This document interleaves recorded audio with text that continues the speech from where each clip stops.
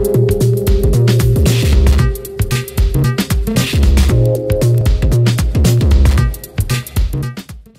teman-teman semua, di video kali ini saya akan sharing perbedaan antara investasi dan spekulasi. Pasti teman-teman udah sering mendengar antara investasi dan spekulasi.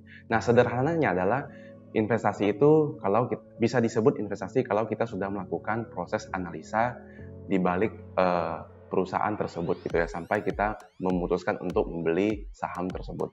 Nah, sedangkan spekulasi adalah kita lebih ke arah menspekulasi atau menebak bagaimana sih harga ke depan perusahaan apakah akan naik atau turun gitu. Baru kita memutuskan untuk beli gitu ya. Nah, itu yang namanya uh, spekulasi. Nah, sedangkan uh, Benjamin Graham mengatakan uh, bisa disebut investasi kalau sudah memenuhi tiga poin ini gitu ya. Poin-poinnya apa gitu ya? Saya akan coba sharing. Nah, yang pertama adalah melakukan proses analisa.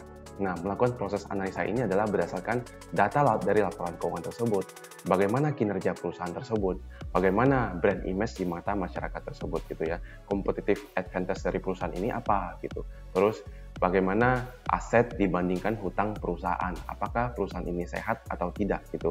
Kita melakukan proses analisa ini semua sampai kita memutuskan untuk masuk gitu ya. Nah, ini baru boleh dibilang investasi. Nah, poin kedua adalah menjanjikan keamanan pokok ya. Jadi sangat penting untuk memiliki keamanan pokok uh, setelah melakukan investasi. Nah, kalau Benjamin Graham mengatakan kita wajib mempunyai margin of safety sebelum masuk di perusahaan tersebut.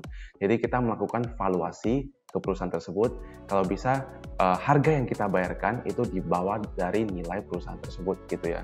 Jadi uh, kita tidak membeli perusahaan yang sudah uh, mahal gitu. Kalau bisa kita membeli perusahaan yang istilahnya under value tapi dengan kinerja yang baik gitu. Nah, pengertian sederhananya si MOX ini adalah ketika misalnya ada orang membangun jembatan ya. Jembatan itu bisa dilalui dengan 1000 ton, berat 1000 ton. Tapi nggak mungkin si developer itu hanya uh, membangun dengan kapasitas 1000 ton. Pasti dia memberikan kelebihan dari beratnya, misalnya 1500 ton, agar ketika orang melewati jembatan tersebut tetap aman gitu. Nah, dari itu kita bisa harus tetap konservatif dalam melakukan analisa dan invest ke perusahaan. Nah, yang ketiga adalah harus mempunyai return yang memuaskan. Ya, kenapa harus punya return yang memuaskan? Karena ketika kita melakukan investasi, kalau tidak mempunyai return yang memuaskan, ngapain kita investasi gitu ya? Pasti lebih baik kita melakukan deposito aja gitu. Deposito kita bisa mendapatkan 5-6% per tahun dan fix pasti gitu ya.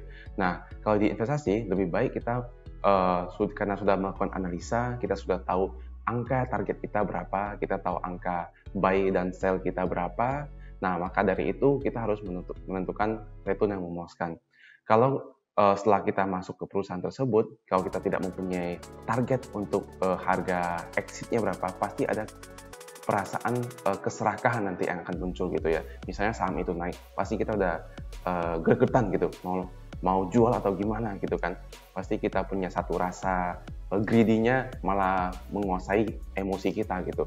Maka sangat penting untuk dari itu kita mempunyai uh, satu target agar return kita bisa memuaskan gitu. Kita nggak dikendalikan oleh emosi kita dan sifat uh, rakus kita gitu. Nah, mungkin itu saja dari saya kali ini perbedaan antara spekulasi dan investasi.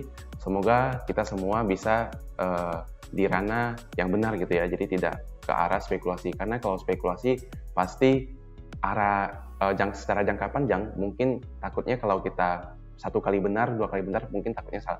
Tapi kalau kita sudah melakukan proses investasi, analisa, mungkin secara jangka panjang kita akan lebih baik gitu, karena kita bisa belajar dari pengalaman yang sudah salah, agar ke depan kita bisa lebih baik gitu ya.